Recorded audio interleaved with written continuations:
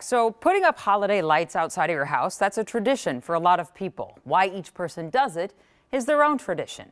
And in Burnsville, the lights became a story because of a letter dropped off in the dark.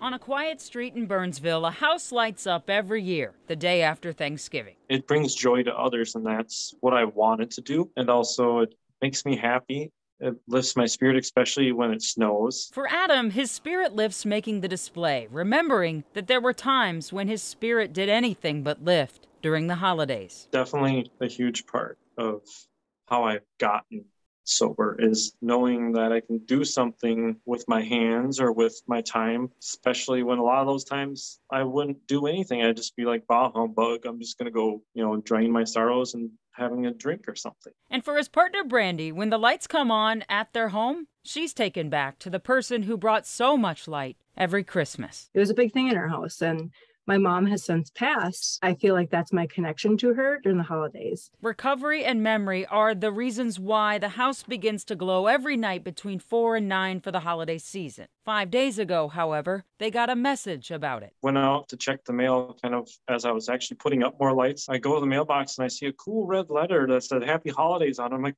Oh. When Adam opened it, his excitement quickly turned to hurt. It was an anonymous letter from a neighbor calling his decorations an eyesore and then some. This is not what I was expecting. I went out to show Brandy. I'm like, can you believe this? Like, I was starting to get teary eyed because it's something I look forward to every year.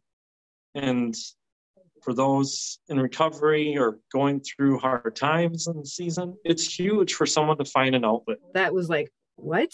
You know it doesn't make any sense to me. And and that's why i was hurt too. Brandy shared the letter online and thousands of people wrote letters or came by with gifts and support but what neither of them could shake was the hurt not theirs. What they think is the letter writer might be hurting too. So to that writer they want to say something. Do you need us to bring you a meal once in a while? Because it's the two of us and sometimes we have a little bit of extra.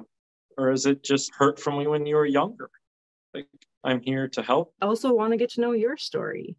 You know, see like if there's something we can do to accommodate or, you know, compromise. Just talk, be a neighbor, be friendly. The world is so unfriendly at times. It takes nothing to be nice and kind. They want to be your light, letter writer in the night. Just be your light if it's dark for whatever reason on your side of Riverwood Drive.